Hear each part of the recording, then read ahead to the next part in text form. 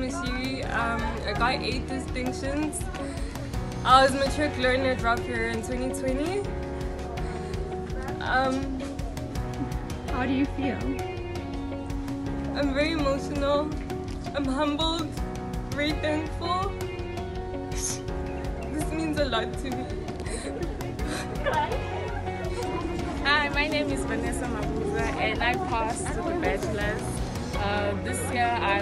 Study dramatic arts. Ek Steenberg, kom hier van Rob Ferreira af. Ek's baie bly ek het geslaag, daarom met een onderskeiding.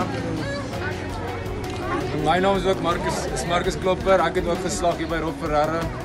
En my toekomstige planne is om te gaan boer. Hello, my name is Kaputa Konde and I passed.